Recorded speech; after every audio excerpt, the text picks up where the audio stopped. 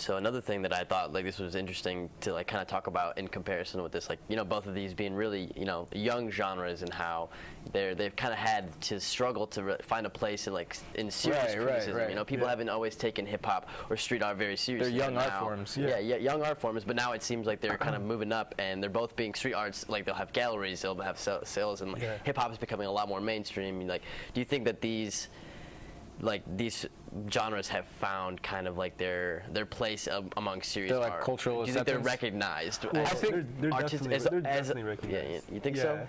I think, um, yeah, I think they definitely things have come a long way. I mean, you're starting to see, I guess, the progression of it. Whereas, like now, like academia is starting to like, uh, you know, acknowledge hip hop, and you have textbooks and classes and Yeah. like these big institutions, academic institution, institutions, starting to like, you know, m- make lectures and books and and literature about this art form and kind of like document it as this living, breathing culture. So I think that's that's one of the things that's definitely showing hip hop and, and street art, uh, you know, its age and and recognition. Yeah, right. sure. I, I, uh, I actually read about this class that this professor was trying to create, centered around Good Kid, M.A.A.d City, uh, which was Kendrick's album. Yeah, yeah, yeah. Yeah. and he was kind of comparing it to like a modern day version of Ulysses and kind of how saying that it was kind of a young man's tale in the streets and kind of Yeah. he said that he would grab other forms of like art, literature and art and kind of compare it and like show that how hip hop is connected to all of this. you know, Right. so- No, definitely. I think. Mm-hmm. Yeah, I read about that too, and that was a really cool thing. Uh, and uh, I think like Nas is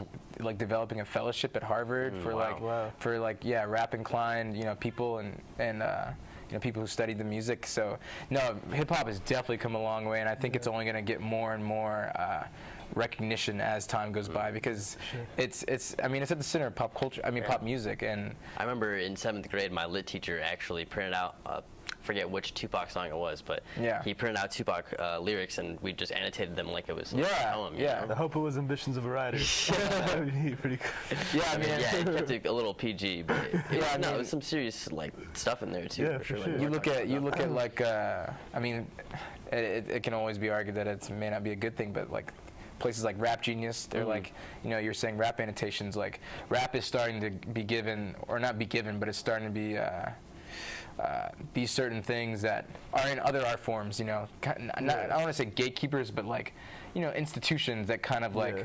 you know, uh, dictate the um, the uh, presentation of it or whatever are, are, are starting to come around. and, and now they're starting to critique it like like we're in a very like serious way that it was it's like it hasn't been like that you know? Yeah. like you said it it's always been viewed as a lower art form you know like a low culture thing.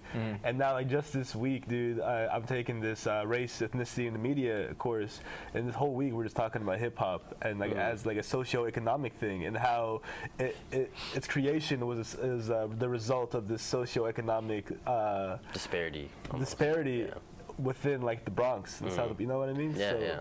And just people recognizing how there's like these really deep-rooted, like serious themes associated with hip hop. Mm. Like it's, it's great. Like you said, we've come a, come a long way. Yeah, the only thing that's left is for, I feel like Southernplayalisticadillacmuzik to be like put into the Smithsonian. Like, I mean, once once rap albums start getting put into the Smithsonian, it'll pretty much be like a done deal. Yeah, done deal for sure. Yeah, El- Illmatic is getting is, is Oh yeah, gonna- 20th anniversary. It's kind of Yeah. becoming like that. People Yeah, are starting yeah. to look at Illmatic like, wow, this is this is up there with, dare I say, like. Sergeant Pepper or something. Mm. Like, Yeah. seriously. No, for sure. They're they're being treated as text, as, Yeah. as works, and not just like art, sure. these countercultural things. They're they're artifacts from you know, pop Yeah. culture.